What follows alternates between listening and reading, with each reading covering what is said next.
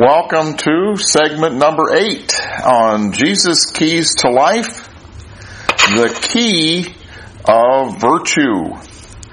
This segment follows upon the last key, which was in order to stay accurate with God, we must keep and do His words. Now, when Jesus started His ministry in 27 AD, he had a tough problem to solve involving that very thing because the Jews had not consistently done what Moses had told them to do to keep and do the word. Look at Judges chapter 2, Judges chapter 2. What happened is in verse 7, the people served the Lord all the days of Joshua, so they kept and did the word. And all the days of the elders that outlived Joshua, who had seen all the great works of the Lord that he did for Israel. And then in verse 8, Joshua the son of Nun, the servant of the Lord, died, being 110 years old, and they buried him in the border of his inheritance. Verse 10, and all that generation were gathered unto their fathers, and there arose another generation after them, which knew not the Lord, nor yet the works which he had done for Israel. And the children of Israel did evil in the sight of the Lord and served Baalim. And they forsook the Lord God of their fathers, which brought them out of the land of Egypt and followed other gods, the gods of the people that were round about them, and bowed themselves down unto them and provoked the Lord to anger.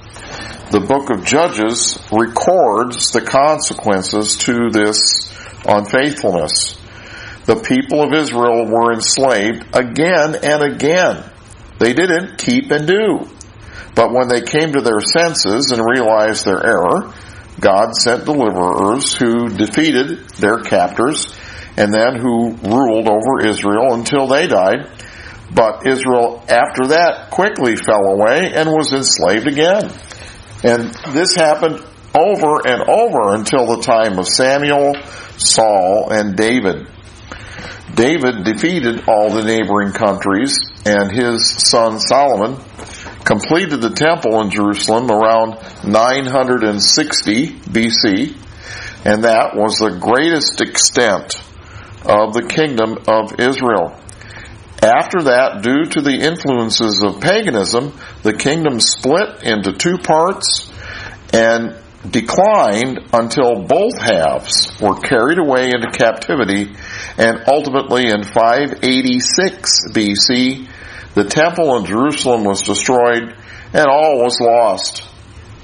After 70 years of captivity in Babylon, some believers returned to Jerusalem and rebuilt the temple and there was a revival of sorts under Ezra Nehemiah, Haggai and Zechariah but that did not last.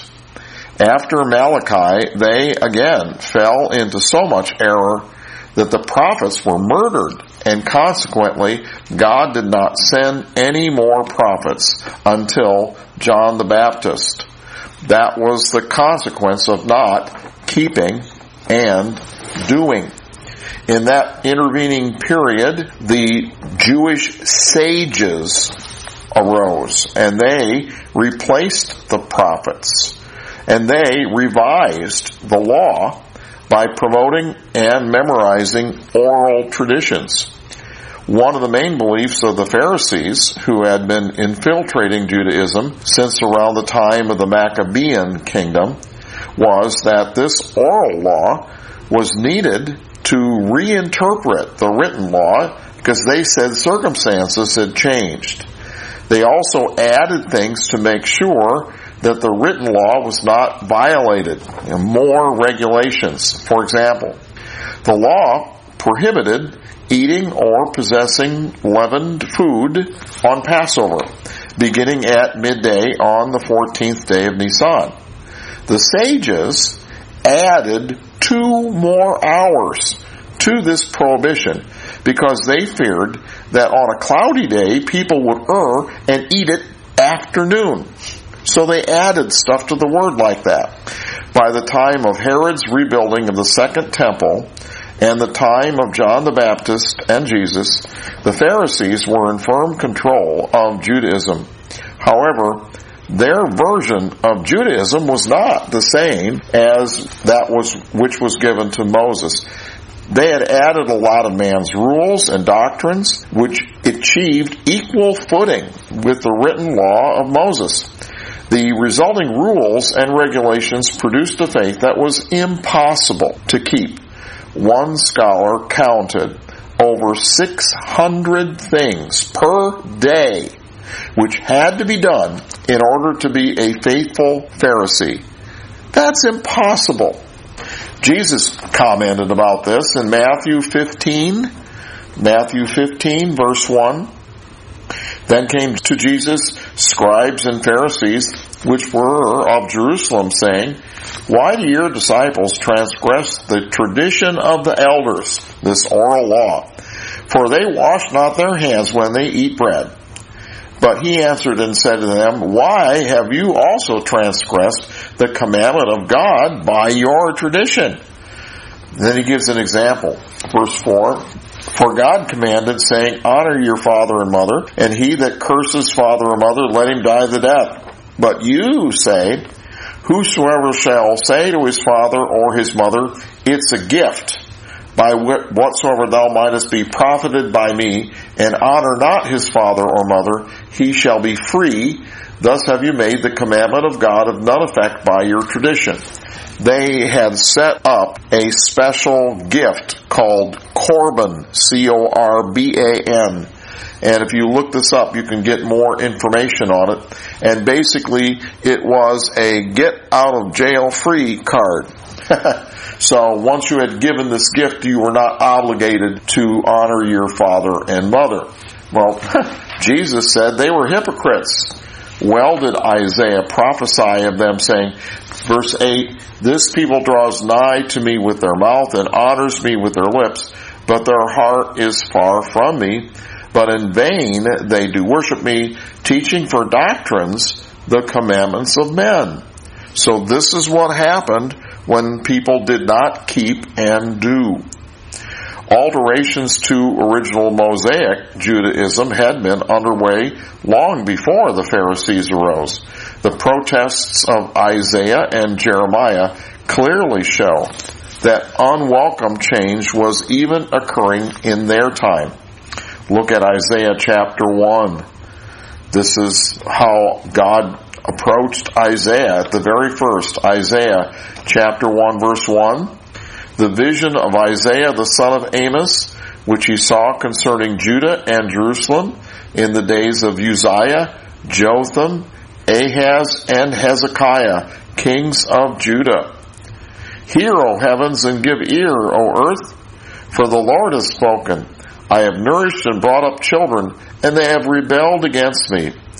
The ox knows his owner, and his ass his master's crib, but Israel doth not know, my people doth not consider.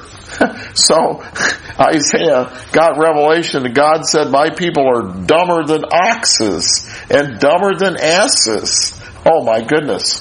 Because the ox knows his owner and the ass knows where he lives, but Israel doesn't know that. Verse 4, Ah, sinful nation, a people laden with iniquity, a seed of evildoers, children that are corrupters. They have forsaken the Lord. They have provoked the Holy One of Israel to anger. They are gone away backward. Wow. It's just amazing to see. Look at verse 6 from the sole of the foot even to the head, there's no soundness in it. But wounds and bruises and putrefying sores, they have not been closed, neither bound up, neither mollified with ointment. Boy. Verse 11, To what purpose is the multitude of your sacrifices unto me, saith the Lord?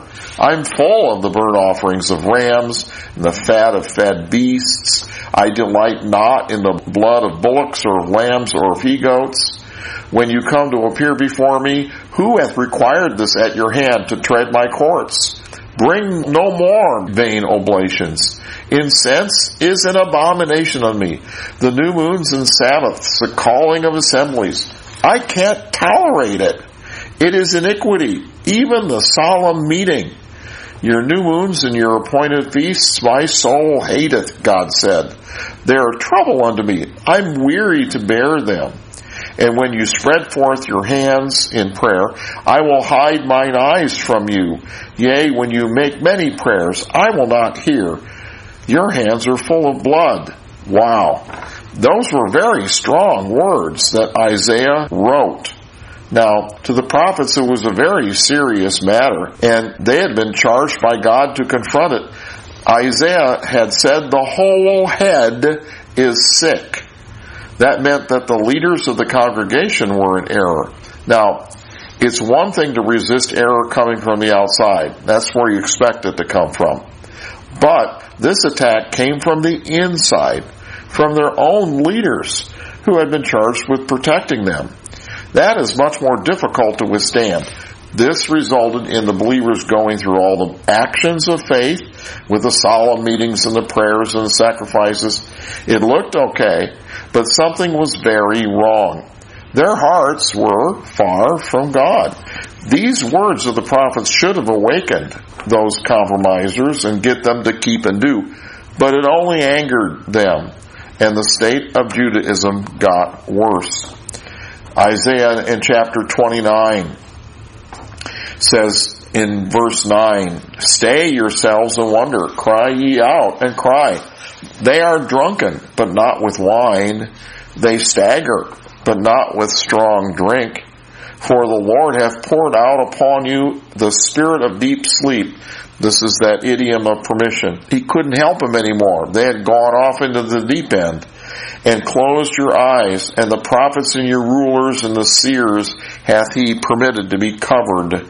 Verse 11, and the vision of all is become unto you as the words of a book that is sealed. The word of God was sealed to them, which men delivered to one that's learned, saying, Read this, I pray thee. And he said, I cannot, for it is sealed. And the book is delivered to him that is not learned, saying, Read this, I pray thee. And he said, I am not learned. Wherefore the Lord said, Forasmuch as this people draw near to me with their mouth, and with their lips do honor me, but have removed their heart far from me, and their fear toward me is taught by the precept of men. Therefore, behold, I will proceed to do a marvelous, incredible, unbelievable work among this people, even an incredible work and a wonder for the wisdom of their wise men shall perish, and the understanding of their prudent men shall be hid. Wow. The key words in that passage are in verse 13, where it says, Their reverence toward me is taught by the precept of men. This documents the inroads of man's religion and theology upon authentic Judaism that was originally given to Moses. Yes, there were revivals during the reigns of the Judean kings, Hezekiah and Josiah, but the words of Jeremiah show that the compromising and influences of man's religion were continually at work. Look at Jeremiah chapter 2. Jeremiah chapter 2 Verse 1, Moreover, the word of the Lord came to me saying, Go and cry in the ears of Jerusalem, saying, Thus saith the Lord, I remember thee, the kindness of thy youth and the love of thine espousals, when thou wentest after me in the wilderness, in a land that was not sown. Israel was holiness unto the Lord, and the first fruits of his increase. All that devour him shall offend. Evil shall come upon them, saith the Lord. Hear ye the word of the Lord, O house of Jacob, and all the families of the house of Israel. Verse 5, Thus saith the Lord, What iniquity have your fathers found in me, God says, that they are gone far from me, and have walked after vanity, and are become vain.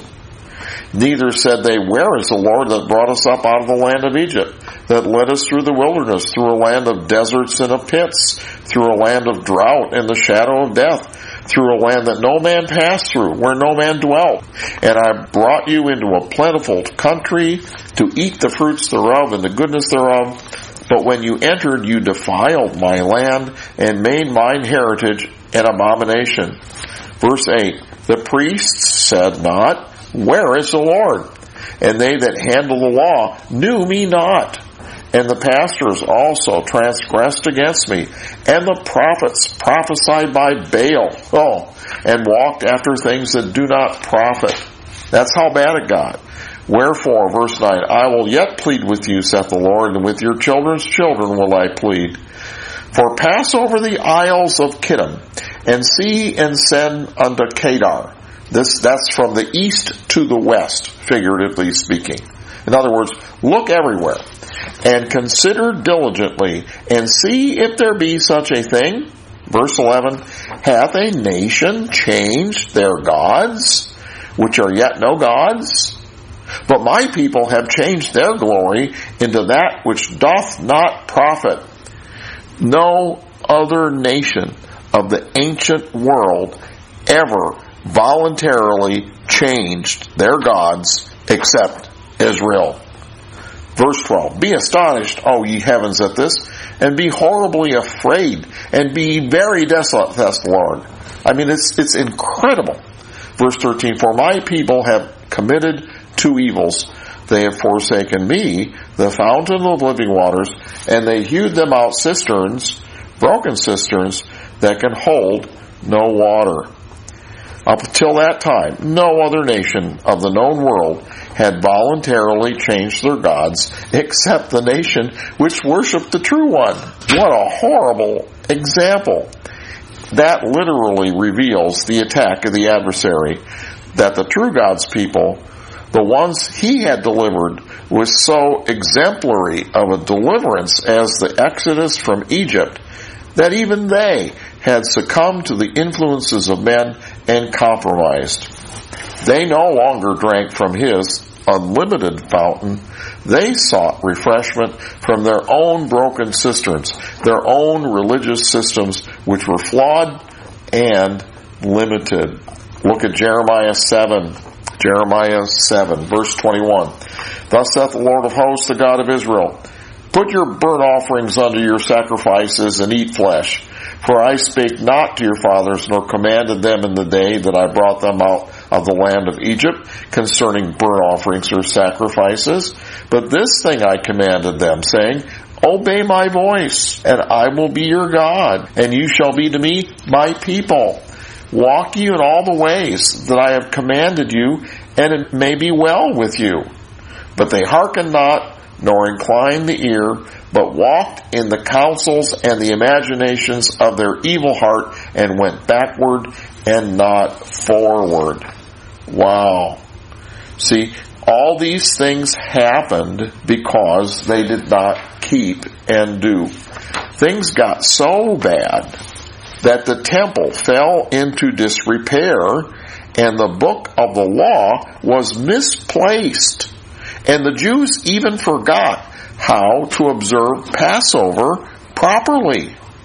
Uh, there was a time that a new king came into power and he commanded that the temple be repaired.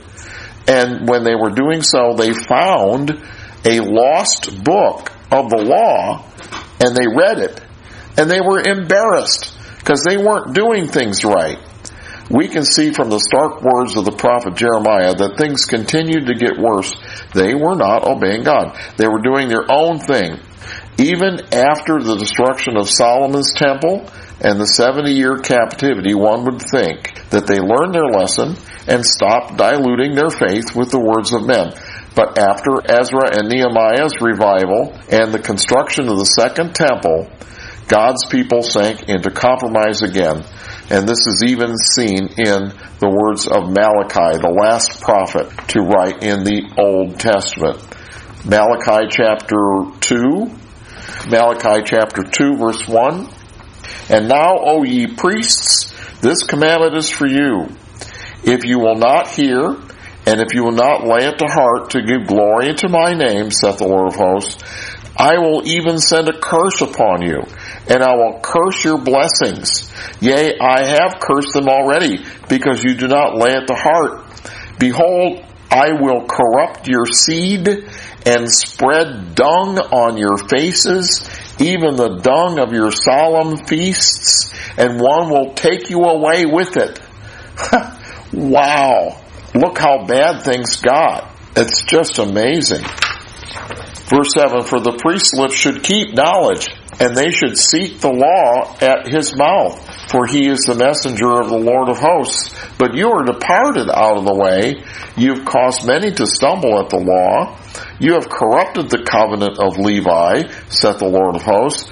Therefore have I also made you contemptible and base before all people, according as you have not kept my ways, but have been partial in the law. So how did this happen?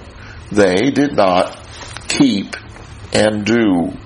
Keeping and doing is how to keep error out, like we covered in last session. The established church denies this today, but unfortunately the same thing has happened to our Christian faith. The church fathers brought an error from Greek philosophy into original Christianity and changed it just like the sages had corrupted Mosaic Judaism with the oral law. A telling example is just look at all the pagan trappings in Christmas and Easter. If our highest holy days have been so infiltrated, what about the rest of Christianity? If we look at history, we can see that both Mosaic Judaism and original Christianity were compromised within a few hundred years, and the erroneous doctrines came from man's speculation and paganism. Today, that has resulted in what is called Orthodox Christianity. Yes, Orthodox Christianity is very different from original Christianity. The Christian compromisings started just as fast as the Jewish ones that we had read about in the book of Judges. Both the Old and New Testament believers ended up teaching for commandments the doctrines of men. This is all because the believers did not keep and do. Look at Jude. Jude chapter 1 verse 3. Here it says, Beloved, when I gave all diligence to write unto you of the common salvation, it was needful, Jude says, for me to write unto you and to exhort you that you should earnestly contend for the faith which was once delivered unto the saints. And Jude was written quite early, so even then, all the same kind of compromisings and error were creeping in. How did this happen? Moses explained the whole thing back in Deuteronomy 29. Go ahead and turn to Deuteronomy 29. Because of our curious nature, we humans want to learn about many things, including spiritual things, but there is an important truth to keep in mind. This is summed up at the end of the chapter in Deuteronomy 29. Deuteronomy 29, 29. I'll start here and then work backward into the rest of the chapter. Deuteronomy 29, 29.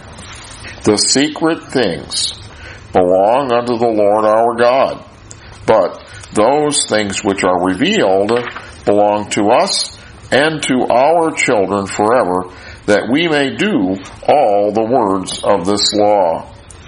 See, we human beings have no right to intrude into the secret things that belong to God. Those concepts are out of bounds.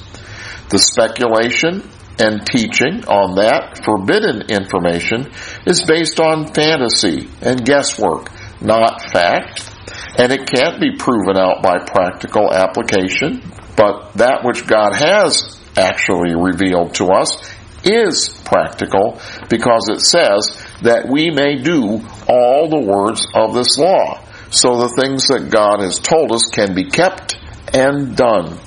This is what we must concentrate upon. Colossians has a similar verse. Look at Colossians chapter 2. Colossians chapter 2, verse 8, and then also verse 18. Beware lest any man spoil you through philosophy and vain deceit. Those things that intrude into the things that are God's. After the tradition of men, that oral law stuff, and the rudiments of the world, all that stuff that comes from the world, and not after Christ. Verse 18 says, Let no man beguile you of your reward, in a voluntary humility and worshiping of angels, intruding into those things which he hath not seen. All that stuff that's God's, that belongs to him in the spiritual realm, vainly puffed up by his fleshly mind. That's where all that stuff comes from. Here's another one in Ephesians. Ephesians chapter 4. Ephesians chapter 4. And in verse 14, it says that we henceforth be no more children, tossed to and fro, and carried about with every wind of doctrine by the sleight of men and cunning craftiness whereby they lie in wait to deceive. Now, in the interlinear, it says, under the systematizing of error, is what the Greek says. Wow. Verse 15, but speaking the truth in love may grow up into Him, into Christ in all things, who's the head, even Christ. So we should be growing up into Christ and be no more children that are tossed to and fro with all this stuff. See, back in Deuteronomy 29, earlier in the chapter, it explains two outcomes when researchers and teachers violate Deuteronomy 29, 29 and speculate into the secret things that belong to God only. Look at Deuteronomy 29 verse 16. Now we had read in a previous session about keep and do. Now this picks up. Deuteronomy 29 verse 16. For you know how we have dwelt in the land of Egypt, Moses said, and how we came through the nations which you passed by, and have seen their abominations and their idols, wood and stone, silver and gold, which were among them. Lest there should be among you a man or woman or family or tribe whose heart turneth away this day from the Lord our God to go and serve the gods of these nations, lest there should be among you a root that beareth gall and wormwood. A root that beareth gall and wormwood. One time, Marcia and I had bought plants from a nursery and we had a flower bed in our front yard and all of a sudden we saw this cover crop kind of vine coming up and it just spread and spread and spread and we went to the nursery and we said where did this come from we didn't buy this and they said that well some of their pots of plants that they sold had gotten contaminated with this vine. And, and we said, well, it's spreading all over the place. How, how, how do we stop it? Because if you just pull it up, it's a root. It was beneath the ground. It kept on coming back up. And they said, you're going to have to strip the entire plot. You're going to have to put down weed killer. You're going to have to let it set for a few weeks until everything is dead. Then you're going to have to get new dirt and put it down and plant everything back in there. That's how to get rid of a root. And so if people don't keep and do, then people will either a man or a woman will start there or maybe a family or a tribe it'll get worse and worse and it'll be like a root that bears two things gall and wormwood. Gall is the word rosh in Hebrew. It is the top or head herb, which is opium. That's the word, opium. And wormwood. Wormwood is poison. So those are the two outcomes that happen when people don't keep and do. Teachings that are out of bounds involving conjecture into secret things or pagan doctrines or dealing with topics that are untrue or impractical, which cannot help us keep and do, will have two outcomes opium or poison. I have traced these terms through the Bible, and the passages are eye opening. If people don't keep and do, they will Either the wrong teachings will religiously intoxicate people to the point that they will not be rooted in reality, that's the opium, or they will poison and debilitate people to the point where they will not have the heart to do the word, that's the wormwood. I have seen both outcomes. When I tracked these terms through the Word, I was astonished at the patterns that I saw. And actually, this very study was the one in which I discovered the concept of signpost words in the Bible. Signpost words are sets of terms and phrases which mark out subjects.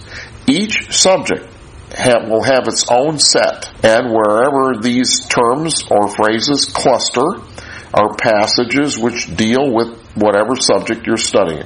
Sometimes when we do a word study, the word that we are studying does not occur in every passage that deals with that subject. But if we track all the signpost words through the Bible, we will find every passage on that subject. Look at Deuteronomy 29 verse 19. Here's what happens when people do not keep and do and other teachings arise that are violating the directive that God said don't get into the secret things that belong to Him. Verse 19, and it comes to pass when he hears the words of this curse that he doesn't keep and do, that he bless himself in his heart, saying, I shall have peace, though I walk in the imagination of my heart to add drunkenness to thirst. I'll talk about that in a moment. And the Lord will not spare him, but then the anger of the Lord and his jealousy shall smoke against that man, and all the curses that are written in this book shall lie upon him, and the Lord shall blot out his name from over heaven. Wow. If you track the words rosh, opium, and wormwood, and the phrase imagination of the heart through the word, you'll see the portrayal of believers' destruction. It'll record that they'll have a, a false sense of peace. Verse 19 it said, He would bless Himself instead of God blessing Him. He would bless Himself in His heart, saying, I shall have peace. But that peace was false. And they justified themselves even though they had strayed from the Word and, uh, and God and His truth. And then when destruction comes, it will sweep away the wet with the dry. That adding drunkenness to thirst is a very vivid idiom that things got so bad it's like a tornado that whisks everything away, the dry ground and the wet ground. So it takes away the innocent with the guilty because the consequences are so bad. Wrong teaching or impractical teaching, that which has no practical application, or wrongly applied teaching has the potential to infect the congregation so they turn away from the true God to worship false gods. They turn away from the truth because they become intoxicated and puffed up with frivolous, impractical knowledge, or because they've been driven into bitter inactivity, having their hearts poisoned by knowledge that does not produce proper results, taught by elite, arrogant, or abusive teachers, having untrue, ineffective, hurtful, or unprofitable applications. So us teachers, we're solemnly charged to teach the truth, and whatever we teach must be applicable and able to be kept and done if we don't do so, we're worthless. Practical application will prove whether what is taught is fact or fantasy, or if it is true, the results will confirm it.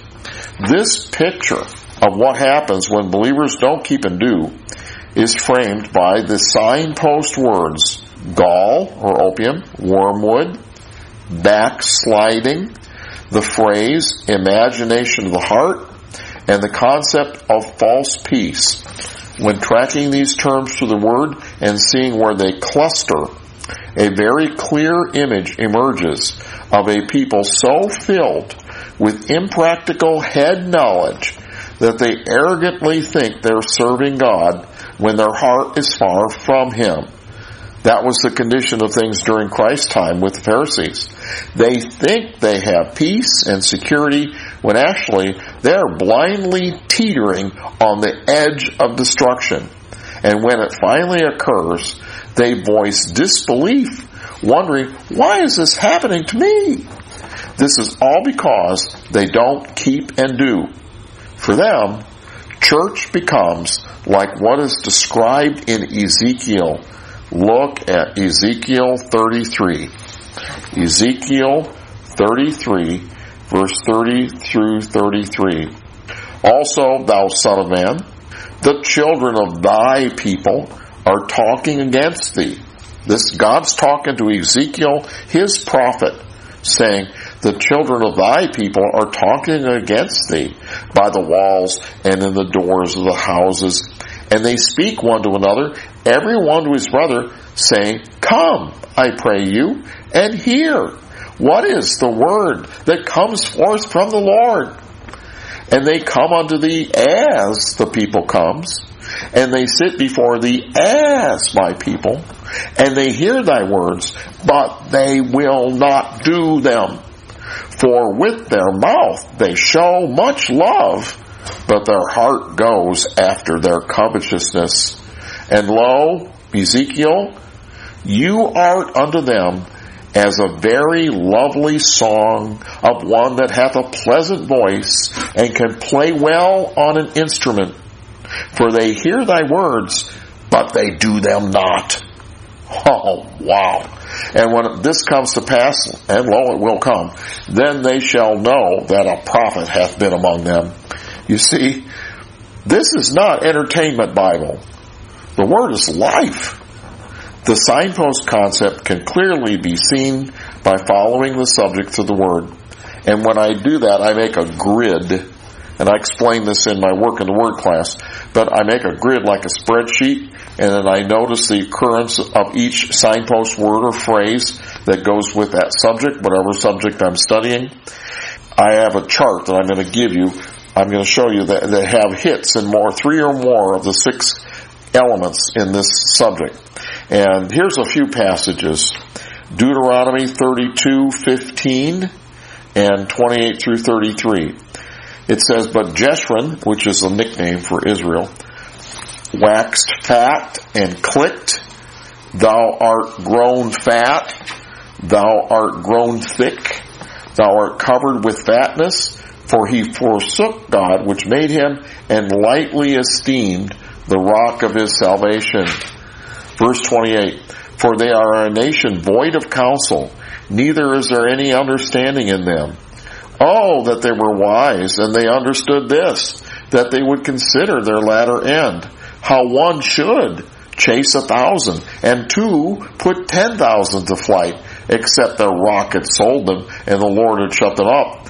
For their rock is not as our rock, even our enemies themselves being judges. For their vine is the vine of Sodom and the fields of Gomorrah. Their grapes are grapes of gall, opium, and their clusters are bitter. Their wine is the poison of dragons and the cruel venom of asps. So you see how that term opium and the this poison is associated with that turning away from the word. Look at Jeremiah 9. Here's another passage. Jeremiah 9, 12 through 16. Who is the wise man that may understand this? And who is he to whom the mouth of the Lord has spoken, that he may declare it? For what the land perishes and is burned up like a wilderness, and none passes through. And the Lord said, Because they have forsaken my law, which I set before them, and have not obeyed my voice, neither walked therein, but have walked after the imagination of their own heart, and after Baalim, which their fathers taught them.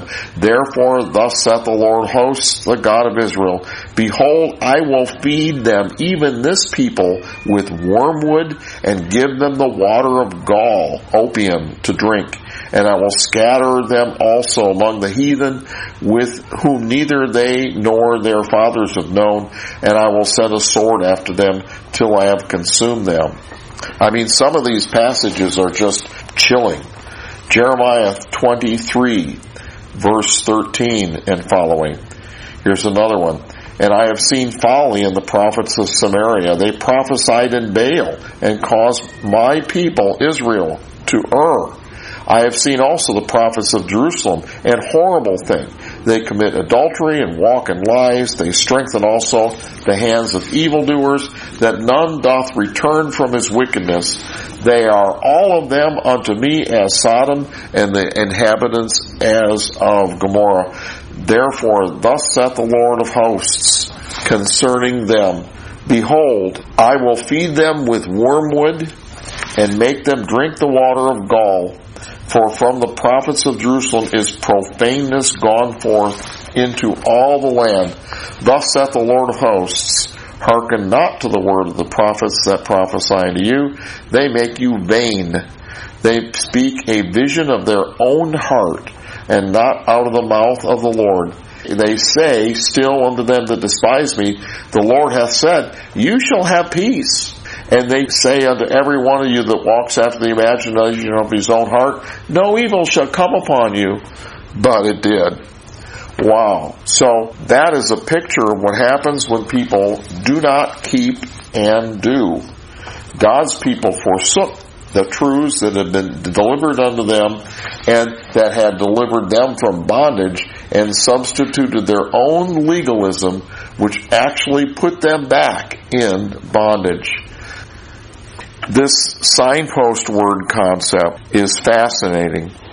Every word study that I have done since about 1988 when Marcia and I learned this signpost word concept, every word study that I have done, I have seen there to be three to seven terms that are used in association with whatever subject that I am studying. And it's fascinating. So when I do a word study, basically it's like I do three word studies simultaneously. And then the other thing that I do is I don't just look at the verse. I look at the whole paragraph where the word that I am studying occurs. And it's fascinating that you see that these associated terms will occur frequently. It's, it's just amazing. Now, what I just finished here is the introduction to this segment 8. Let's take a short break here and then let's get back to it. So let's get going after the break again.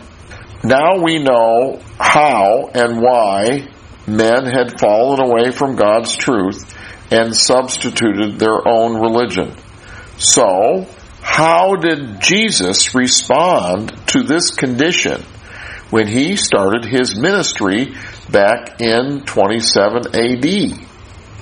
Well, he opened his teaching with the Sermon on the Mount with the solution. He certainly knew that the same forces which had acted upon Moses' teaching to produce the corrupt state of Judaism in his time would also be acting on his teachings. So, what did he teach that would preserve the integrity of his teaching? He gave the Beatitudes, which I believe he taught specifically to counteract this tendency of man to not keep and do. This is the new paradigm for man. The law of Moses codified what not to do, and the law of love summarized it.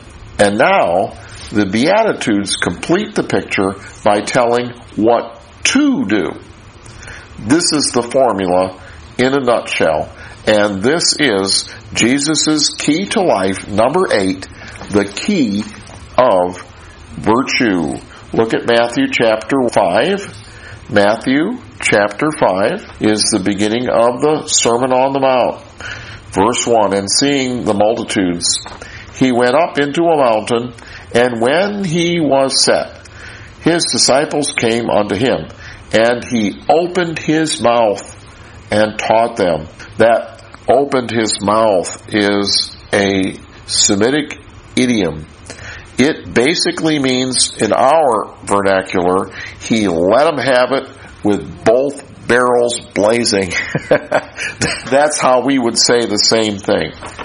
He had been working this material ever since he was 12 years old, and he said, I must be about my father's business.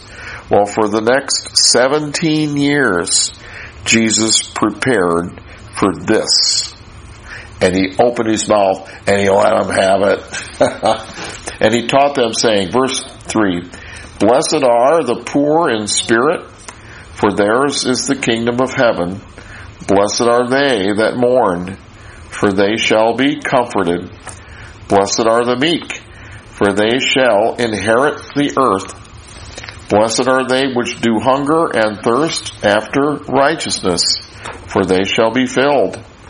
Blessed are the merciful, for they shall obtain mercy. Blessed are the pure in heart, for they shall see God. Blessed are the peacemakers, for they shall be called the children of God. Blessed are they which are persecuted for righteousness' sake, for theirs is the kingdom of heaven. And blessed are you when men shall revile you and persecute you and say all manner of evil against you falsely for my sake, Jesus said. Rejoice and be glad, for great is your reward in heaven, for so persecuted they the prophets which were before you. This is the solution. This is the key. Humility, equanimity, meekness, hunger and thirst for righteousness, mercifulness, pureness in heart, peacemaking, courage to stand for the right, and faith are Jesus' nine virtues. These wonderful attitudes and attributes are the basis for genuine piety, no matter what brand name a believer one may be. They were not something exclusive. They were not only for privileged Pharisees. They are every man's truth and every man's treasure. These, by their very character, spring from the heart, and they can never be legislated or imposed by means of outward ritual.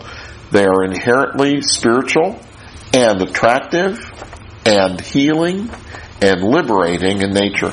If embraced, these virtues lead inexorably to God. Jesus built his church with a foundation of these wonderful virtues, wholesome mental attitudes. For if one's mental state is right, one's actions will match. So, Jesus encouraged these nine virtues as a solution to prevent what happened in the Old Testament of not keeping and doing. These are mental attitudes which both produce and reinforce proper responses. Therefore, if Jesus featured these so prominently in the introduction of his manifesto, which was the Sermon on the Mount, it was his lesson plan for what he wanted to teach. So if he featured these so prominently, they should figure prominently also in our Christian walk. What is a virtue? Webster's New World Dictionary states, a virtue is general moral excellence, right action and thinking, goodness of character. The opposite of virtues are vices. Both are attitudes, attributes, or habits of heart which are a basis for action. The model human should have virtues but not vices. The beauty and attractiveness of virtues are that they are attitudes and attributes that anyone can attain, no matter who they are, where they came from, or what they have done, or what's happened to them. We just need to decide to attain them work at it, and persevere no matter where or under what circumstances we've come from. These virtues have inherent power in them to triumph over all. Benjamin Franklin was a famous and influential man in science, entrepreneurship, and politics who positively affected the entire world. Well, how did he do that? Was he just born that way? No. When Franklin was 20 years old, he set a personal goal of excellence for himself to do right and to avoid wrongdoing. But he went further in that noble cause than most, in that Franklin made a list of virtues which he vowed to keep. And then, second, he also devised a method to achieve his goal. Many of the virtues Franklin chose matched Jesus' list. Now, his method was he decided not to tackle all of these virtues at once, but he decided to concentrate on one virtue each week. And then when he got through his whole list, after so many weeks of going through all his virtues, he would repeat it and take things to a greater level. Now, also, in addition, he, Franklin, made himself a little book with charts that he would use to mark his progress every day. Now, I am not going to intrude into your life and make you keep a book of your successes and failures and check it. I'm not going to do that. I'm just telling you what Benjamin Franklin did. Virtue made a big difference in how far he got in the world. So how far do you want to go? I am saying that Jesus presented us with a list of virtues which he had thought through and recommended, and that if adopted, they would change lives for the better, and Hebrew society for the better, and the world too. So far in this series, I have presented a lot of eye-opening information. Hopefully, I persuaded you to become a Christian and to believe for and enjoy the benefits thereof. This series may be a turning point in your life. If it has been, where do you want to go now? What do you want to do? Regardless of what vocation or station in life you may aspire to attain, I think that the main benefits we all want are peace, happiness, and purpose. Do you agree? Jesus said then, start here. Cultivate these virtues to achieve your goals. Jesus presented this list of virtues which he indicated were important for the kingdom of heaven, but not only then, for all time. But there are many other virtues. For example, Benjamin Franklin had 13 virtues in his list. Why did Jesus choose to promote these particular nine? To answer that question, I want to put our toe into the pool of man's philosophy just for a moment for it's interesting to notice what man has thought of virtue throughout time and culture. Jesus chose to summarize his concept of virtue with this listing. Others, both from Eastern and Western cultures throughout time, have chosen different virtues to head their lists. James Stalker, in his book, The Seven Cardinal Virtues, states the following. The idea of cardinal virtues is an exceedingly old one. It occurs in Plato and Aristotle, and from these famous philosophers, it descended to the Greek philosophical schools. From the Greeks, it passed to the Romans, being prominent in the writings of Cicero, and from them, it passed into the fathers of the church. Now, the Greek philosophers chose to catalog virtues into four categories temperance, wisdom, justice, and courage. They maintained that all the rest of the human virtues could be derived from these. This is what is meant by cardinal virtues. They stem from these. However, rather than taking our lead from pagan Greek philosophers, I advocate that we consider the list Jesus made. The Greek list implies man's preeminence and achievement. Jesus' list implies man's submission to God. Now, Jesus probably didn't speak or read Greek because his ministry was to the Jews, and he was operating in Judea, which was an Aramaic and Hebrew environment that was involved in Semitic culture and thought and centered on the Old Testament scripture. Consequently, Jesus probably derived his list of virtues from the study of the Bible, discussion, observation, contemplation, and revelation, not a study of Greek philosophy. But there are some compelling similarities. Jesus was not operating in a vacuum. He lived in a culture where believers discussed the scriptures amongst themselves and where certain people who had intellect and ability gravitated to centers of learning to study at the feet of reputed scholars. Consequently, everything that Jesus taught was not totally new.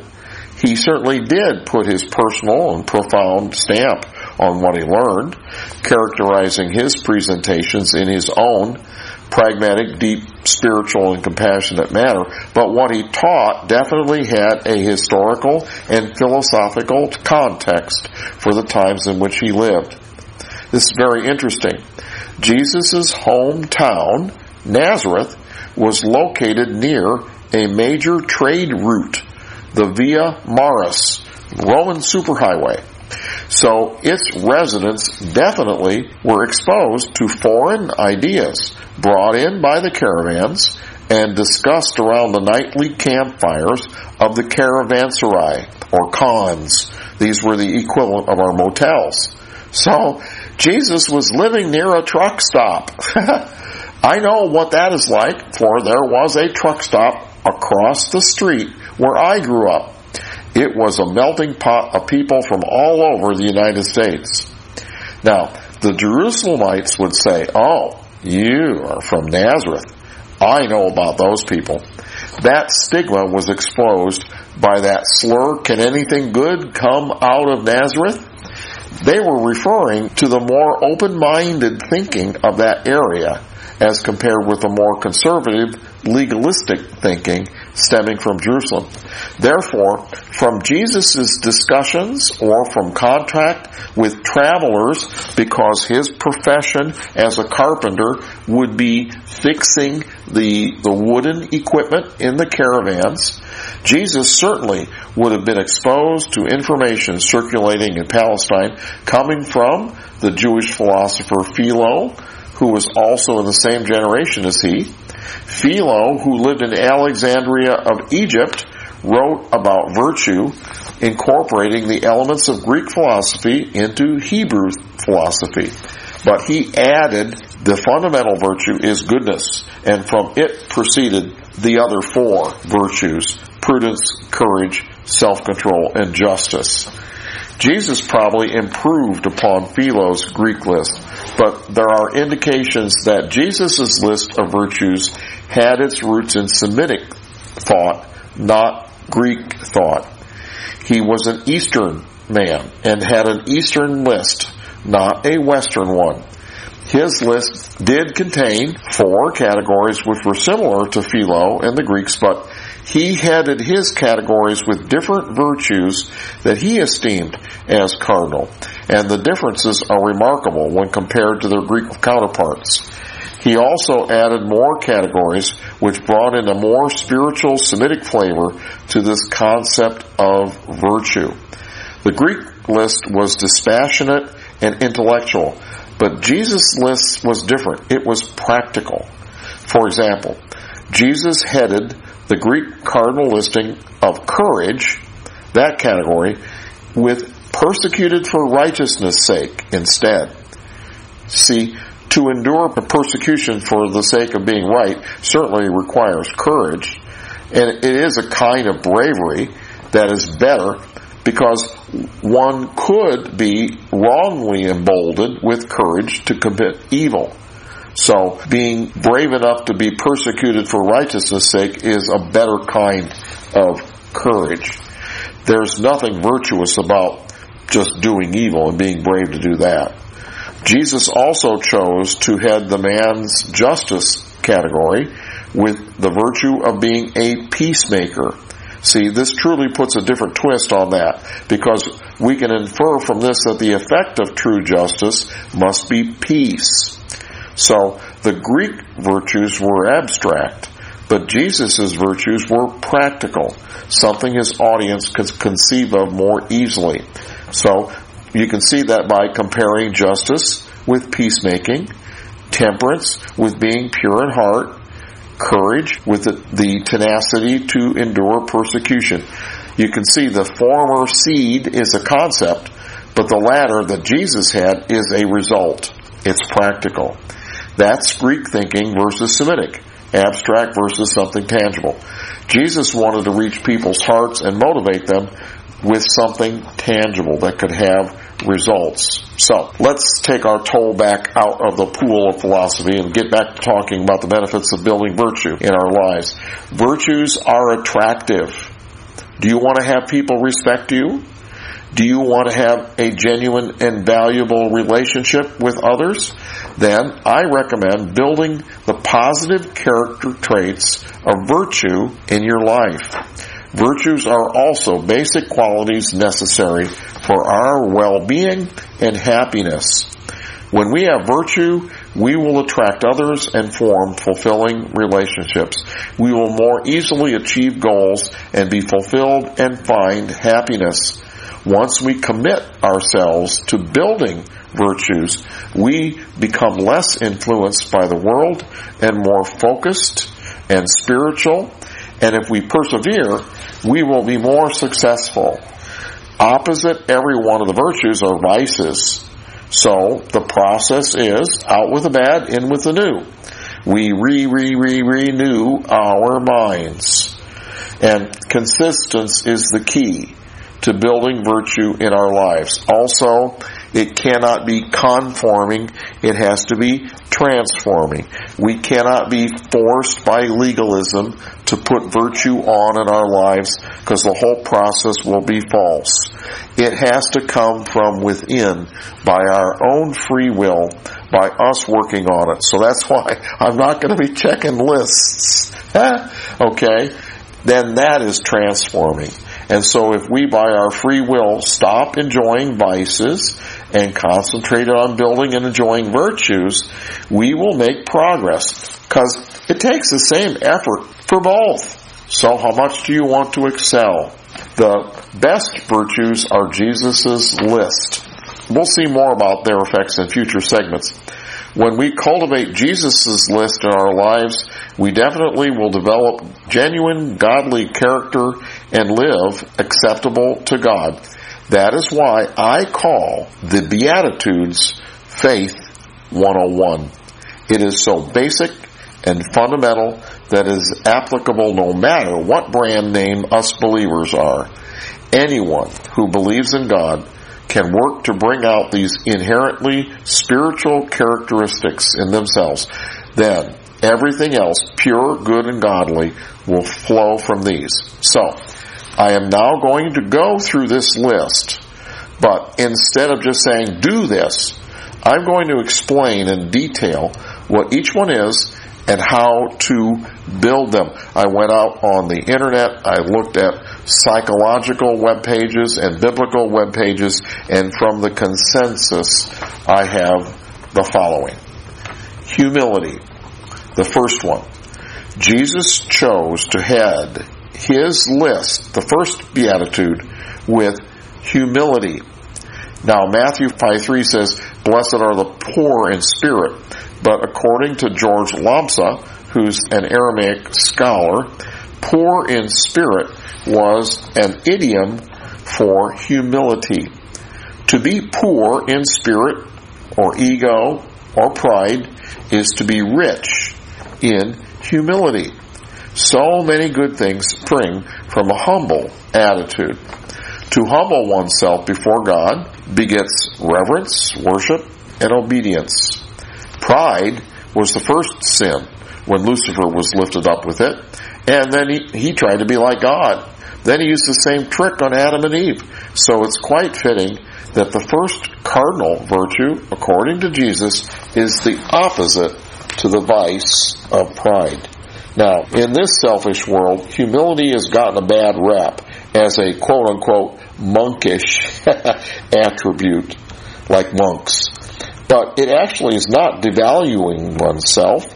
The Psychology Today website speaks of humility as, quote, while some misunderstand humility as low self-esteem or self-denigration, a proper conception of this virtue has both self-regarding and other regarding components. The humble person keeps their accomplishments, gifts, and talents in a proper perspective. They have self-knowledge and are aware of their limitations as an individual and as a human being. But humble individuals are also oriented toward others. They value the welfare of other people and have the ability to forget themselves as well when appropriate. So, humility is a valuable virtue when working with others. Now, I normally don't cite Wikipedia, but in this case, it offers an astute definition as, quote, humility is the act of lowering one's self in relation to others, or conversely, having a clear perspective and therefore respect for one's place in context.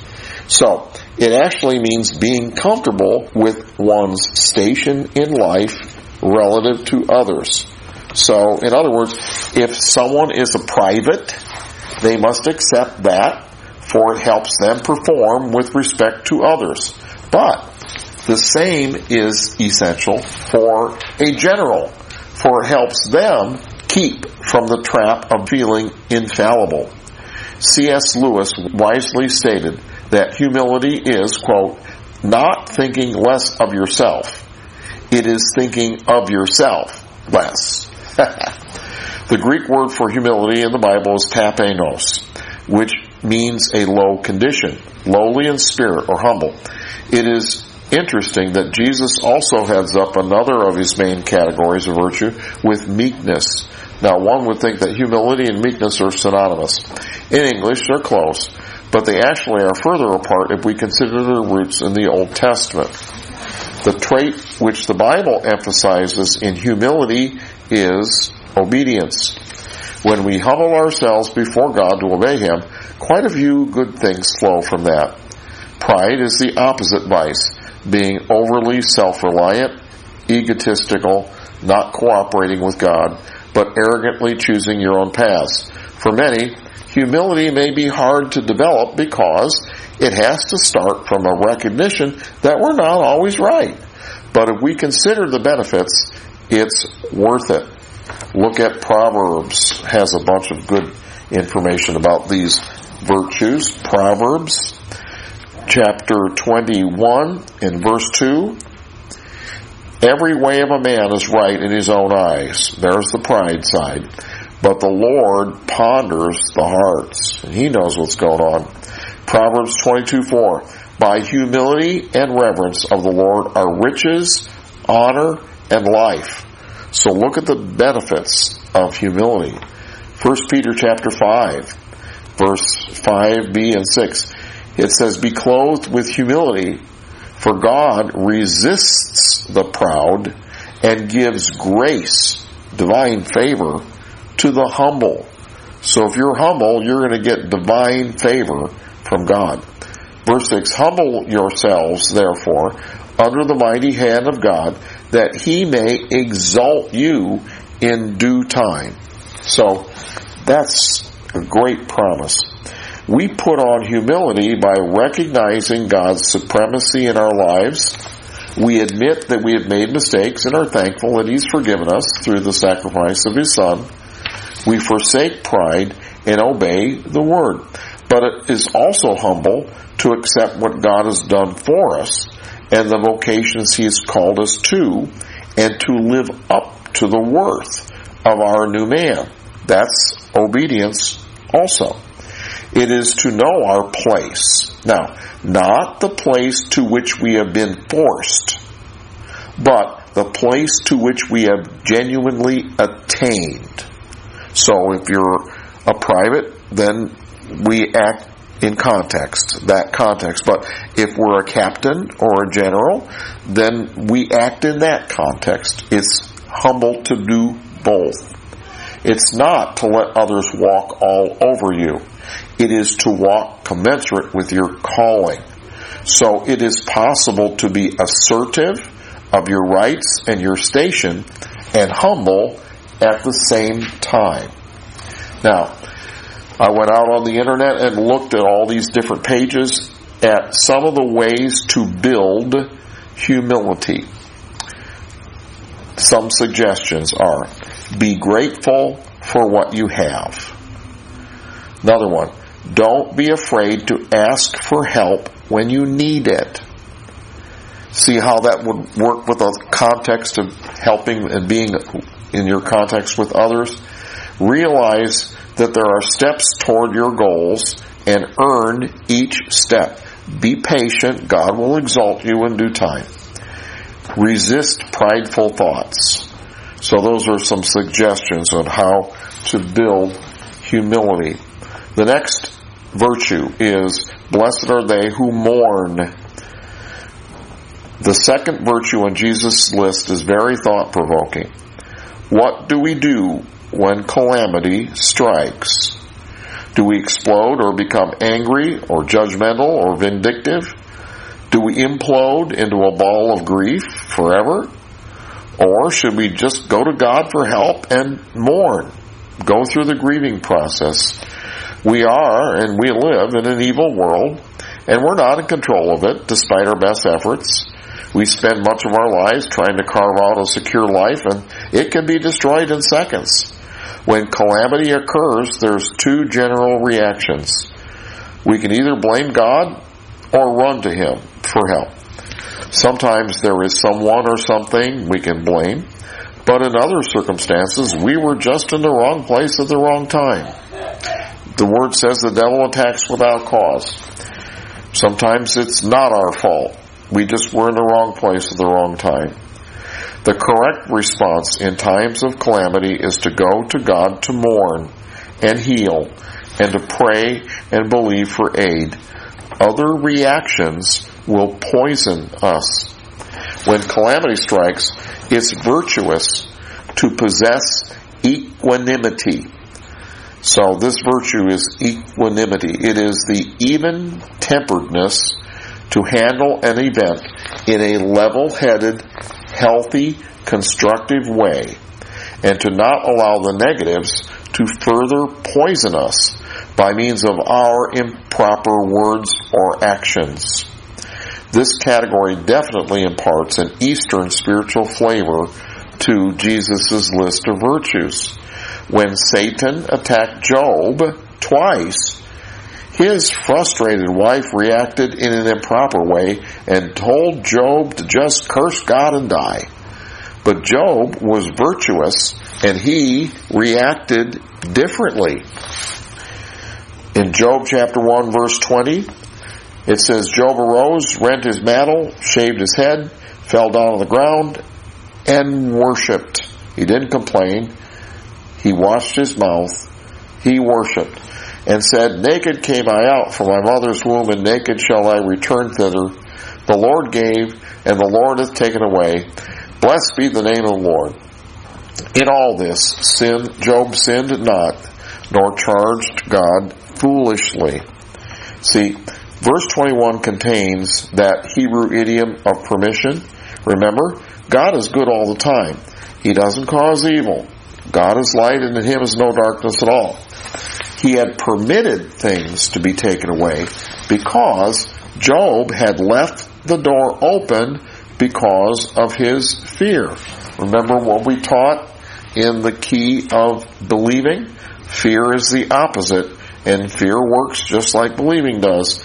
Job 325, Job said, for the thing which I greatly feared is come upon me, and that which I was afraid of is come unto me. So he had left the door open and the adversary took advantage of it. So, but Job handled the situation with equanimity, with level headedness. He watched what he said and did. Now, Satan's been teaching our Western culture to respond differently with violence and revenge when evil or calamity strikes. The world instructs that it's admirable to strike back. Our news media gravitates to this. They make it the main attraction of the newscast. Our movies are chock full of violence. When we finish watching them, we feel like we've been on an emotional roller coaster. Is that really entertainment? Or is it actually emotional abuse? Uh, some genres of our music are full of violence. Our kids recite them like poetry. Our video games are teaching our children the same, but even worse, instead of passively witnessing the violence, our children participate. And they do it over and over in the game for hours. This definitely and absolutely is training them to respond to stimuli in an ungodly fashion. I mean, what happen, what else, uh, what happens with anything else that you do repeatedly? Now, you know, the video game manufacturers will disagree with this, but what do you expect? They're simply having the same corporate denial as the cigarette companies used to have before they were exposed. So, yes, there is a need for an emotional response when evil happens. We do need to release that negative energy. It's not good to bottle it up, for it'll certainly come out somewhere, some way, and usually uncontrolled or unintended. But instead, we should redirect that energy toward good. Star athletes know how to do that. They know how to excel in their sport and redirect the energy of negative things into positives. We can do the same. We can release it to God. We can pour out our heart and souls to Him and cast all our cares upon God, and then He will direct us into wholesome action in response to the calamity so that we can overcome the evil with good. Now, rage is the opposite vice to equanimity. We can seethe with anger or ascribe blame or harbor grief and mistakenly carry that burden for months or years or a lifetime. Or we can give it to God to properly handle the situation. Once wounded, is evil supposed to affect us forever? No. We can heal and there is a process. Now it takes time. We can't make people do this. They have to do it in their own time. So equanimity or rage, what do you think is right? There's a grieving process implied by the word mourn. We can go through that and those stages of that with dignity in order to come to terms with an attack or a loss and ultimately cope, forgive, and heal emotionally. But ultimately, good is designed to overcome evil. So, it's beneficial for us to get on board with that process. So, if you read about Job's experience in Job chapter 38 through 42, it shows how God helped him through all the steps of grief. God counseled Job. So this documents that often a counselor's help is needed. We need to build this virtue in our lives by disciplining our thinking and speech and reactions to evil when it attacks. We should make it a habit to go to God in prayer when we need aid, and then we should patiently wait, humbly maintaining our faith for deliverance until we get it. Remember, in the end, God will overcome all evil with good, and we shall see it. So, ways to build equanimity are learn how to stay your mind upon God, manage your emotions, think twice before you speak or act, practice moderation in all things.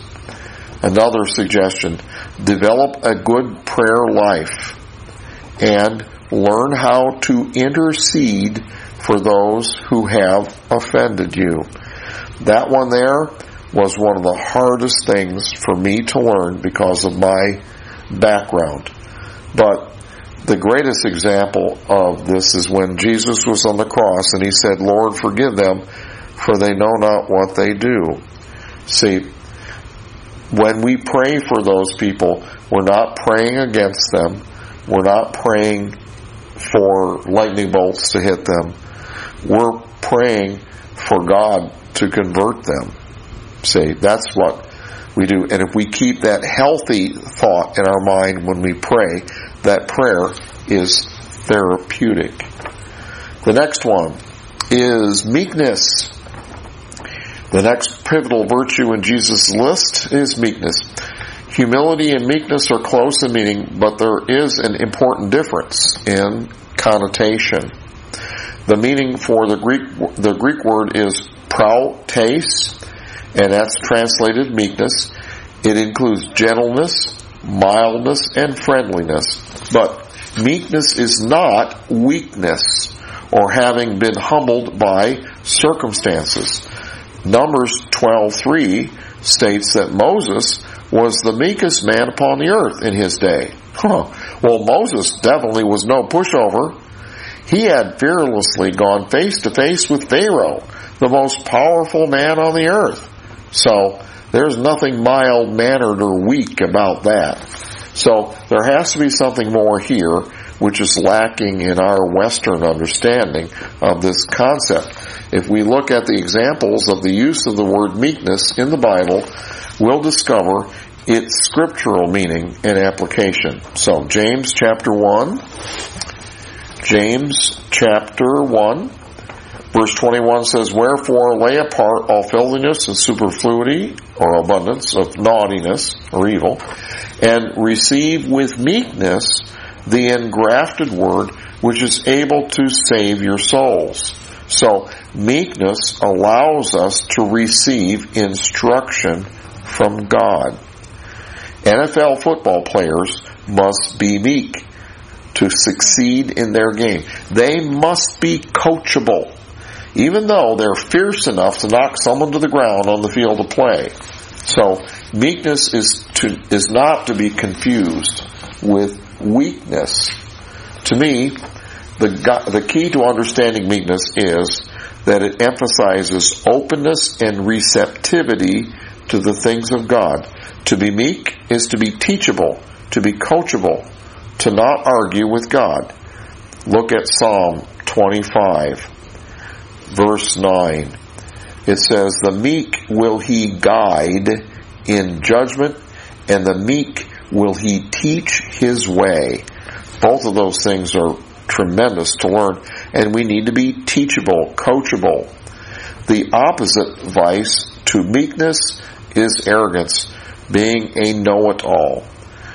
Some things to build meekness are realize that once you stop learning, you're going backward. Another thing, realize there are others who may be better at things than you. That'll keep you meek. Develop good reading habits. And double check what you believe. That's being teachable. Try new things. Be willing to better yourself. Ask others questions and then consider their opinions on things. All these help you to keep an open mind and be teachable, meek. Develop good listening habits.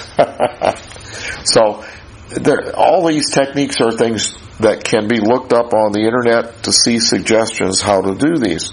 But this is how to develop these virtues in our lives because they definitely all are beneficial. The next virtue is hunger and thirst for righteousness. This is fascinating. This involves seeking truth, but it's, it's more than that. You see, we can have access to all the natural and spiritual knowledge, but if we don't want the right knowledge enough to pursue it, then it's still worthless. We have to build optimism and hunger and thirst for righteousness and truth. The, the vice that is opposite to this is apathy. We don't care. It doesn't, we're not going to do anything. We're lazy. oh, it's been so bad, it's not going to get any better. No, you have to have optimism to hunger and thirst for a good result. Often people put up with negative things and have tolerated them for so long they become used to them and the thought of ever getting anything better fades away. And so they willingly stay entrapped. So this is why Jesus knew that hunger and thirst were key concepts. So, how hungry are you? How far are you willing to go to really get what you came to church for? Look at Matthew 6. Blessed are they which do hunger and thirst after righteousness, and the promises, for they shall be filled. The word filled in the Greek is kortazo, which means to eat to one's fill, to be satisfied. In other words, it is to satiate our appetite. Now everyone can get a different amount then, depending upon how hungry they are. So this is both an invitation and a promise. I really think that few want to be wrong, but some people do have a stronger desire to be right than others. The devil has constructed the world that to make it easy to fail and to become apathetic. He's the king of entropy, disorder. Therefore, it takes effort to live in the world and to be right and to stay right. Some people are willing to put out that effort and to be correct, and others have just given up to go with the flow. So, how hungry are you? How much do you want to be right? If you keep on at it, you'll get there. Have you succumbed and resigned yourself to be just conformed to the world and go with the flow? There's an example of this in John chapter 5. John chapter 5 verse 2 there was at Jerusalem by the sheep market a pool, which is called in the Hebrew tongue Bethesda, having five porches. In these lay a great multitude of impotent folk, of blind, of, whole, of withered, waiting for the moving of the water. Now, this, the rest of this verse to the end of verse 4 is not in many texts where it says an angel went down to a certain season in the pool and troubled the water whithersoever then first after the troubling of the water stepped in was made whole of whatsoever disease he had. Now, that's strange. Verse 4 is strange because we've learned that the principles we need to believe. Verse 4 is spiritual lotto. so, and it's not in many texts. So, but verse 5, and a certain man was there which had an infirmity 38 years. When Jesus saw him lie and knew that he had been now a long time in that state, he said to him, Do you have the will to be made whole? See, this poor man had been infirm for 38 years. But Jesus didn't merely sympathize with him. Instead, Jesus got right to the point and asked him, Do you still have that willpower to get whole? Do you still have it? See, we obviously have needs. But do we have the wants? Would you still want to be healed after 38 years of having some condition? Jesus helped and inspired this man to muster the desire to fight again and get to the place where he could believe and receive deliverance. I hope that these teachings will help you in the same situations. So the key question is, how hungry are you? How thirsty are you? Have you given up? There's a cartoon that we probably all have seen, and that is of a heron trying to swallow a frog. The frog is in the heron's mouth, but the frog has his hands on either side of the mouth choking the heron. And the caption at the bottom says, don't ever give up. Well, Jesus and I concur. If Satan has us in his grasp, in his grasp, keep choking that bird. keep contending. He ultimately will have to spit us out. The key is how hungry are you? How thirsty are you? Get that righteousness and truth that we're believing for. Get that deliverance. And don't let anything or anyone stop us. Don't ever give up, just like Abraham when we learned that. When dark clouds cover our skies, remember one thing. The weather is sunny and fine only a short distance away. Straight up. just keep your thoughts on heavenly things and get your deliverance. Hunger and thirst after righteousness and you shall be filled. So, ways to build uh, optimism and positive expectations are surround yourself with positive people. Oh, that's so beneficial. Then confess positive things and build that habit. Like we saw in renewing the mind. Habits are things that everyone has and can build. So we just have to get busy doing it and we will get the result and usually it only takes a few weeks. So build habits of confessing positive things. And then another thing, don't accept evil. Always look for deliverance and then take the appropriate action. Uh, another thing that might be good would be to limit or eschew negative entertainment like movies or music that is negative. It, why pump that stuff in yourself if you're trying to get out of it? So, the next virtue is mercifulness. This next virtue is the product of the influence of Hebrew culture. Uh, there's, it's a cruel world out there, and stuff happens. Sometimes people fail and suffer injury because of something they did. But other times they suffer calamity because they were just in the wrong place at the wrong time. So have you ever heard the phrase, there but for the grace of God go I? That's something to think about. When you see somebody else's calamity, do you turn your eyes away? The Jews were supposed to reach out and to be merciful in those circumstances. That's the parable of the Good Samaritan the priest and the Levite had an opportunity to help the wounded, wounded man in the parable, but they refused, and it was the Samaritan, a half Jew, who finally did. But if you lack wisdom on what to do in a situation where it's possible to have mercy on someone, ask God. He'll tell you what to do. I remember one time when I was writing my book on the Sermon on the Mount and the Beatitudes, I encountered a woman who had a need. So I just asked God what to do. She needed a ride, and you know, usually I, you know, I double check about that kind of thing. She needed a ride, so I said I could give you a ride. And then as we were riding, she actually needed some money, so I decided to give her $25 and five mile ride where she needed to go. And then on the way, I spoke the word to her and told her I was a minister. And I found out she actually was not totally destitute, but she was getting some aid. I also discovered that she was a believer, so I encouraged her. And she offered to pay me back at the end of the month when she got her disability money from the government. But I, I said, no, no. Because if you pay me back, all I'm going to get is $25. But if I let God pay me back, I'm going to get what I actually need.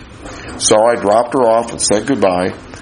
Within one half hour, I received a phone call which brought me $600 worth of work. At that time I was doing computer repair and each contract included a little bit for transportation. But I got a set of work orders all at the same address. But they all still had all of that bundled in. So I got $600 worth of work within half an hour, and I knew I'd done the right thing. It was God paying me back. So, when you are in a circumstance where we can show mercy, then we have to develop a, son, a sense of what to do, and God will teach us. Um, we need to eschew selfishness and judgmentalness. These are the vices, and they're the opposite. And endeavor to share with others. So don't just walk by people who have need. Try to help them. Engage them in conversation. In the least, their situation is an open invitation and a clear opportunity to witness to them or to minister to them. I mean, after a while, we'll develop the common sense, the spiritual sense to know when to give a fish or teach how to fish, or when we offer to pray for them. That often separates the wheat from the chaff. Where if they're if they genuinely have a need or they're just putting on a show, then you know, just do what God says to do. We can never allow ourselves to become so aloof or hurt or self-centered that we refuse to be merciful, loving, or charitable. That opens many doors for God to bless us back. So even if you are hurt, never stop giving, never stop trying to help, never allow anything to stop you from doing what God has called you to do. Some things to do to build mercifulness is put yourself in someone else's shoes. Have empathy. Practice kindness. No strings attached. Do not be judgmental. Another good thing. Engage fully with others when you're talking to them. Look at them when you speak and smile. So that's that virtue. The next one is pureness of heart. This next category reflects a central theme here in our faith. This virtue implies discipleship, balance, and maturity. It's a genuineness, a purity of heart that's cultivated over time. Now, the Greeks thought temperance to be the most desirable in this category. However, to be pure in heart is more God-centered and moral than mere generic self-control. Therefore, more worthy of leading this category. The book of Proverbs often extols this kind of virtue. The opposite, the vice, in this category is to be undisciplined. Proverbs 11:20 They that are of a perverse heart are an abomination to the Lord, but such as are upright in their way are his delight. And there's a lot of benefits if you delight God. To be upright in your way implies more than just casual thought. A way involves repeated actions. It's a pathway. Proverbs 11:3 The integrity of the upright shall guide them, but the perverseness of the transgressors shall destroy them. So, part of this process of developing this virtue must be responding properly when we make mistakes and need reproof and correction. Well, no one's perfect, and this is life. And we need to have a proper attitude towards receiving reproof. Don't resist or give excuses. Learn from it. Receive it. Take it to heart. We must realize that the person who is giving it to us is actually trying to help us. We build the virtues in this category by accepting the reproof and instruction and then deciding to learn from it and follow it. All kinds of benefits flow from this. Proverbs 14:30 A sound heart is life of the flesh, but envy is rottenness of the bones. Proverbs 16:17 The highway, it's not just a pathway, it's more, it's a highway of the upright is to depart from evil. He that keeps his way preserves his soul. Some of the things that will help in this virtue to develop it is share quality time with good people to learn how to be pure in heart. Make a list of things you want to improve. Now this is a private list, okay? This is just for you. Replace bad habits with good ones. Another one is pursue altruism. Altruism is to do good without strings attached. Then another way to build pure heartedness is make your goal, make a plan, and then take steps to achieve it. It doesn't happen automatically. There's effort for every one of these, but they're all worth it. The next virtue is peacemaking. The Greeks esteemed justice to be the king in this category, but justice without God is shallow. Jesus, on the other hand, puts peacemaking at the head of this category because peace is the real goal of true justice. Earlier, we considered the virtue of equanimity to help heal people from evil or loss. We also dealt with mercy that was essential to heal people from physical and mental injury. But this virtue of peacemaking entails caring enough to get involved with people to try to heal them from conflict so that justice can be wrought and peace enjoyed. This is an admirable trait, but many don't have the patience or the love to shoulder this burden and wade into the midst of a conflict between people and listen them out and perceive the keys that will lead to resolution and mediate issues to a successful resolution. But it's worth it. As we saw earlier, another facet of this virtue is to help believers make peace with God. The vice in this is just to put up with clamor instead. So if you want to build this virtue, treat all parties with respect, develop good listening skills so that you can understand what the problem is, make sure you diffuse the emotion and promote getting to the facts, find what people want, and then present a biblical solution. So we just have a couple more to do. The next one, the next virtue is enduring persecution for righteousness sake. This eighth virtue involves standing up for being right, even though it may bring on persecution. That's better and more admirable than mere courage. Do you see the God centered aspect that Jesus was promoting when he chose this as a category head? It's virtuous to bravely take a stand for what is right. Now, this virtue is an extension of our own personal integrity. If we will habitually do and think what is right, then we will notice when situations around us are off the standard. It's interesting. In the workplace today, many people compartmentalize their business and they will not intrude into what is someone else's responsibility, even though it affects the whole company. One of the habits that I have is I am proactive. And when I see something that is awry, then I bring it up. Now, I'm not a busybody and, and I don't tell people what to do all the time. I am, have a very helpful and team oriented attitude at work in my secular job. And so when I see something that is a pattern that needs attention, I'll bring it up. I'll say, well, did you see this? Or did you see that? And then I'll leave it. I'm not going to push it. But proactivity is a good trait to build, and it takes being observant, see issues, and then be brave enough to speak up.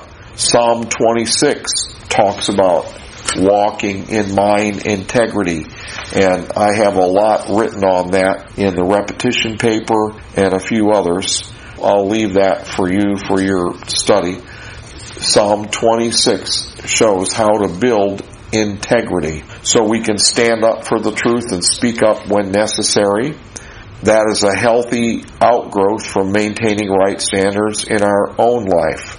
The world fights against this with political correctness, which is an oxymoron. That's something that's mutually exclusive, political and correctness. They present us with only two choices, saying if we disagree with someone, we're being hateful. Well, that's not true. And, and if we agree with them, then it's loving. Well, I mean, if you really hate them, you wouldn't want to help them. And if you really love them, then you would, and you'd speak up. See, so that presentation of only two choices is not true. How, how many situations are we in where there's only two choices? There's a multitude of choices. And they just try to center us in on that. Another excuse is, if someone's doing something that's not bothering you, why should you get involved? Well, put it this way. If someone is sick of a communicable disease and they're not getting treatment, what is going to happen ultimately? It's going to spread. That's how you counter if somebody's doing something that's not bothering you, why get involved? Well, ultimately, it is going to affect you.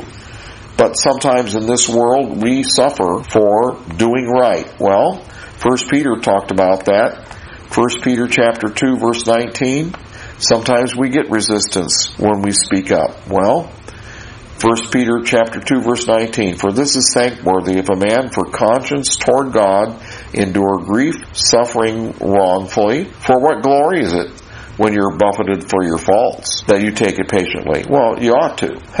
But if when you do well and suffer for it, take it patiently, this is acceptable with God. For even hereunto you were called, because Christ also suffered for us, leaving us an example that we should follow in his steps, who did no sin, neither was guile found in his mouth. So in this context where you get accused for doing something right, well, don't sin and don't have guile, don't try to soft sell it. Stand up for what's right. Who, when he was reviled, reviled not again. When he suffered, he threatened not, but committed himself to him that judges righteously. So if we stand up and get persecuted for righteousness' sake, there's reward there. Look at Psalm 62. Psalm 62 contains a repetition that is applicable in this circumstance.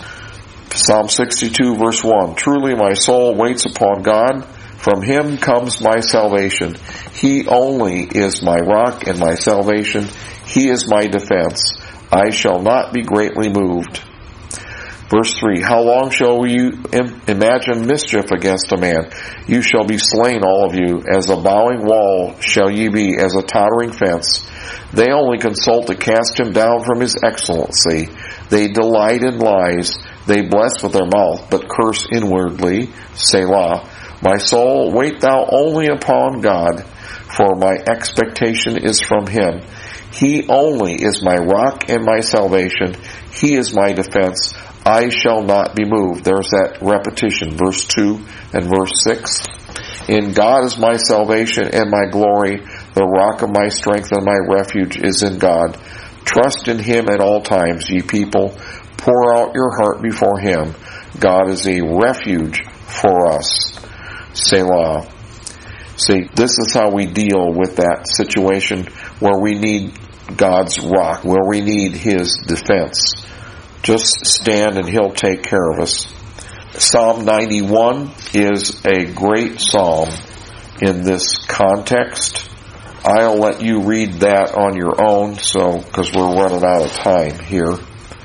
But Psalm 91, 14, it says, Because he has set his love upon me, therefore will I deliver him. I will set him on high because he hath known my name. He shall call upon me and I will answer him. I will be with him in trouble.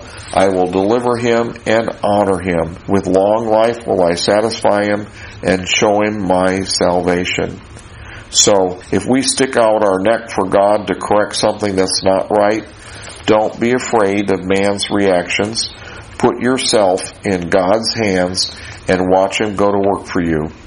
The front line in any battle is where the power is brought to bear. And if we're willing to stand up for what is right, we definitely will see His power manifested. Now, I'm not saying be like a Pharisee. The Pharisees were always pointing out mistakes that others made. But that's not what I'm talking about. The difference is that we practice what we preach and we utilize wisdom to deal with things when we see evil.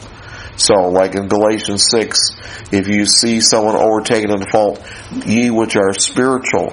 So that is a revelation demanding situation. One time, Jesus uh, reproved Peter with a look.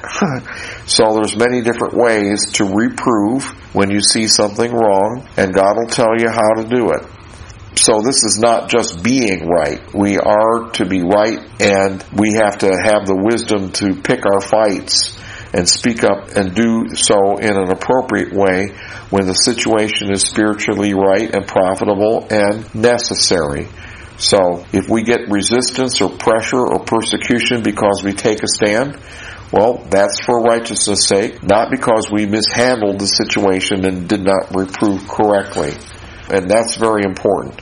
It has to be for righteousness' sake. Sometimes people react to resistance or persecution expecting God to reward or protect or honor them when the problem is actually because they are in error.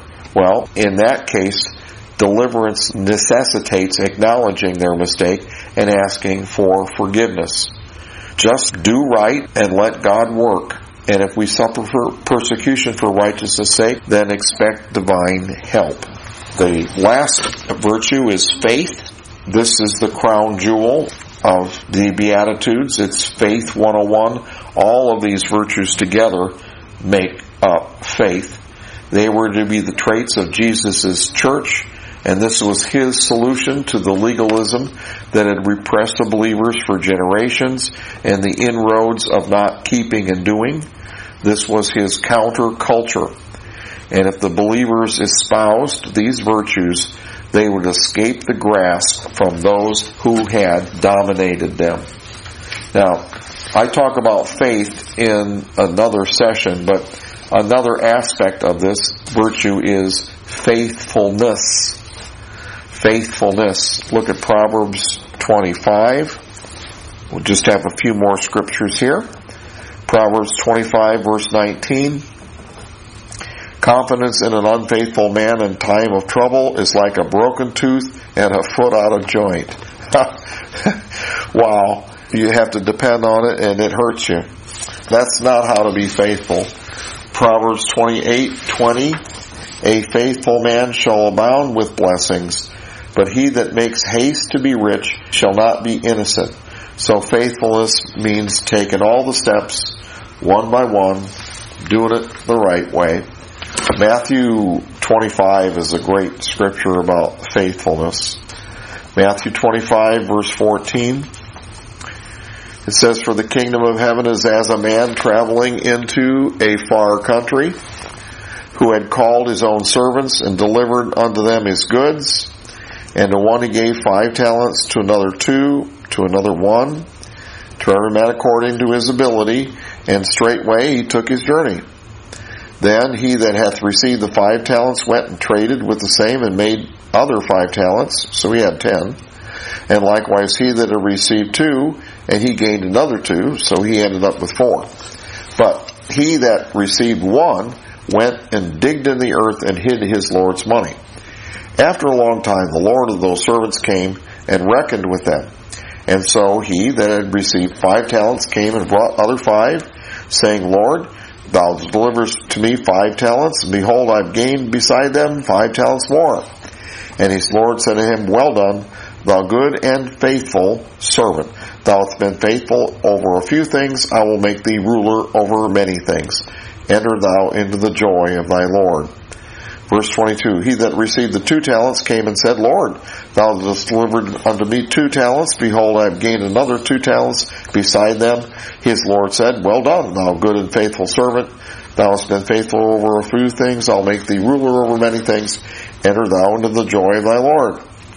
Then he that had received the one talent came and said, Lord, I knew that you are a hard man, reaping where you have not sown, and gathering where you have not strawed, and I was afraid, and went and hid thy talent in the earth. Lo, here is what is thine.